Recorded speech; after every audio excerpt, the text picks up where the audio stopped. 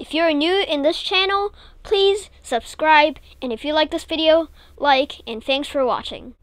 Peace out!